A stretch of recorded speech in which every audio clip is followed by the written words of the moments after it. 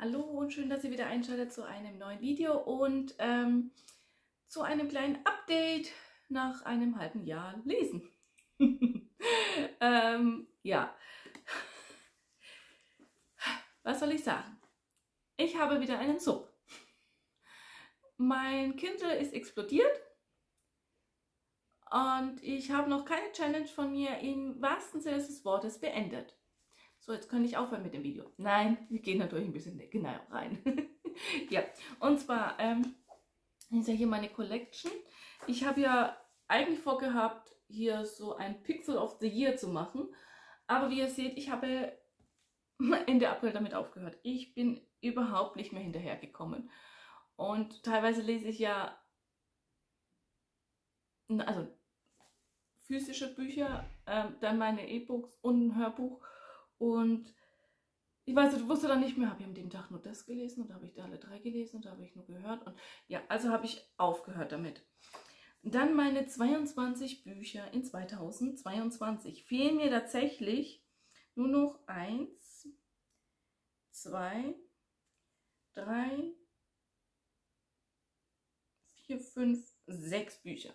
Okay, tatsächlich nur noch, ist gut gesagt. Eigentlich bin ich davon ausgegangen, dass ich spätestens in einem halben Jahr fertig bin, weil ich habe ja außer drei Büchern alle schon da. Also ich musste sie eigentlich nur noch lesen. Und ich hatte ja auch einen Monat, wo ich sie mir alle auf die Leseliste gesetzt habe und habe es nicht geschafft, sie zu lesen. Und ich denke mir so, oh mein Gott, also es wird langsam Zeit, sie mal endlich zu lesen.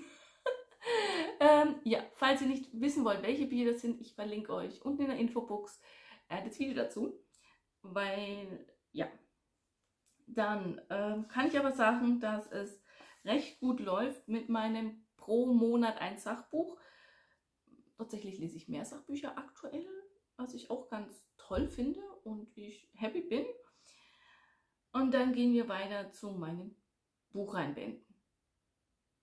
Ja, wenn ich, es ist, ist wirklich so, ähm, als ich, also man sieht hier, das ist meine ähm, Seite, wo ich angefangen habe.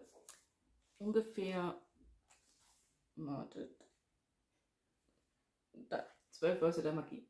Die Seite habe ich angefangen Anfang des Jahres und man sieht, ja, ich habe welche wieder gelesen, aber es sind haufenweise neue Reihen dazugekommen und es ist aktuell auch noch nicht auf der aktuellen Stand. Ich müsste nämlich noch ein paar hinzufügen.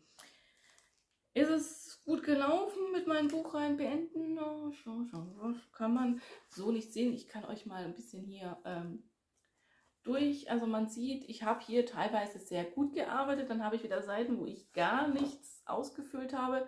Also es geht fast im Wechsel, immer mal wieder komplett. Dann habe ich schon Bücher, wo ich eigentlich endlich mal lesen könnte und dann würde ich weiterkommen und dann wieder gar nichts. Und ähm, ja, es ist wirklich so, es ist schlimm. Also ich habe das Gefühl, ich tue immer wieder neue und Bücher kaufen und Buchreihen ähm, nicht wirklich beenden und das sollte ich endlich mal tun, habe ich das Gefühl, aber ich tue es nicht.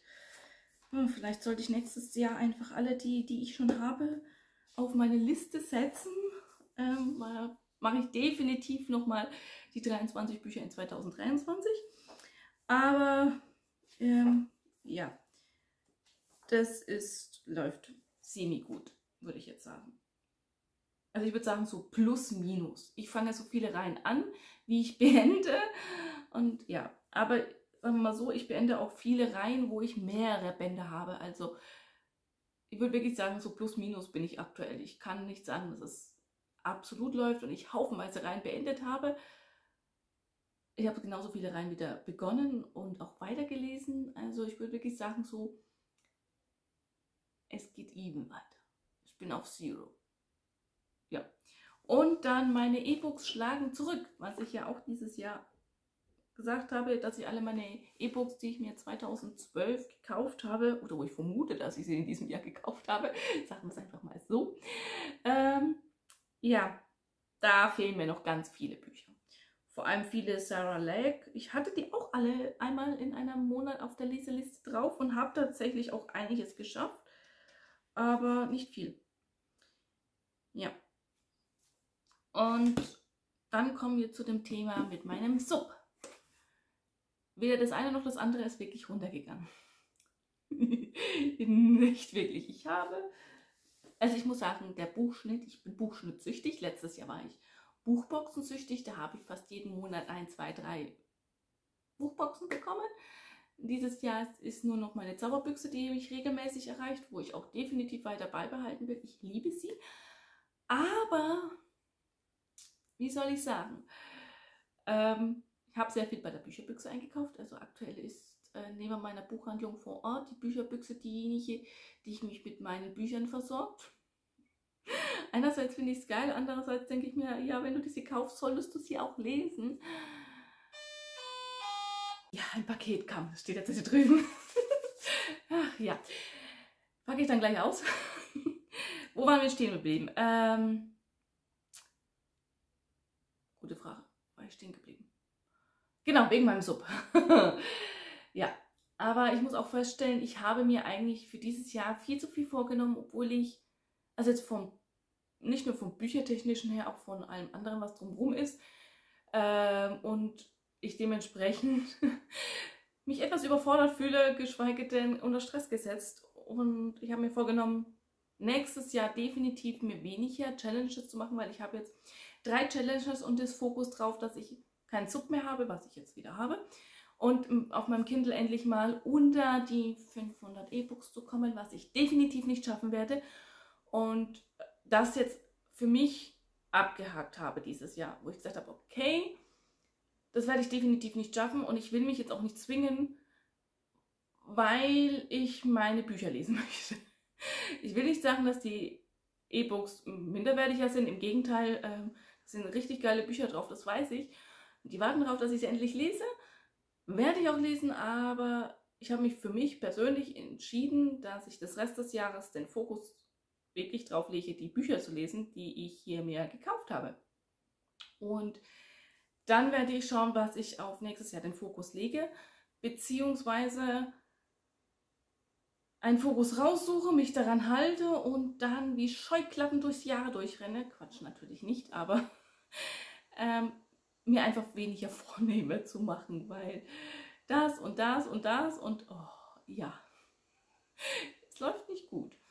Vor allem habe ich ja schon gesagt, ähm, ich habe bei der NetGalley ähm, bei der Challenge mitgemacht. Die hat mich definitiv unter Stress gesetzt und das werde ich nicht machen. Ich, ich, ich freue mich immer über jedes Rezensionsexemplar, das ich lesen darf.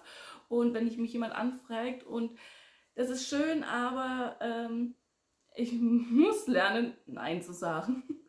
Ich sage viel zu oft Ja und fühle mich dann gestresst, weil ja, ich weiß, ich habe genug Zeit. Äh, ich sage auch immer mindestens vier Wochen, obwohl ich weiß, dass ich es wahrscheinlich innerhalb von einer Woche schaffe.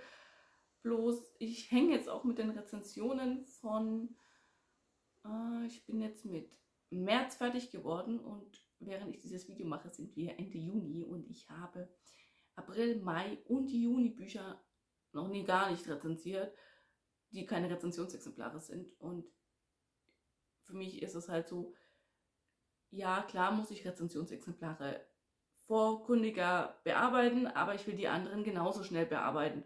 Und das funktioniert aktuell nicht und das nervt mich ein bisschen ehrlich gesagt. Ich weiß, es ist meins und ähm, ich müsste ja auch nicht mit jedem Buch, was ich lese, äh, rezensieren.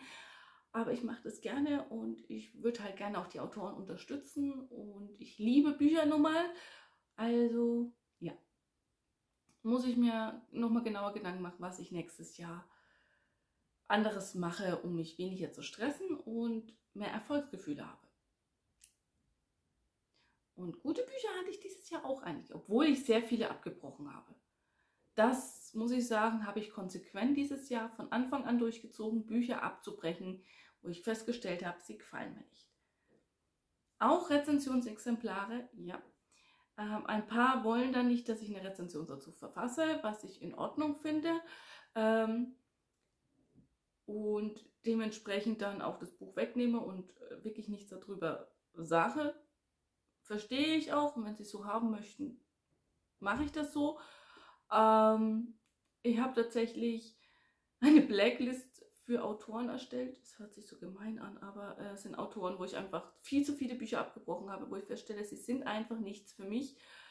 Und ähm, tatsächlich habe ich jetzt noch ein Buch auf meinem Kindle von einer Autorin. Das ist die letzte Chance. Wenn das Buch mir wieder nicht gefällt, kommt sie auch drauf. Ähm, mal schauen, ob ich noch dieses Jahr mache, äh, dieses Jahr soll ich schon, diesen Monat mache im Juni oder ob es jetzt auf Juli vielleicht noch mit rein tue. Ähm, und dann werde ich von ihr auch nichts mehr holen. Das sind einfach Autoren, wo ich sage, sie sind keine, mh, hm, keine Autoren für mich, wo ich einfach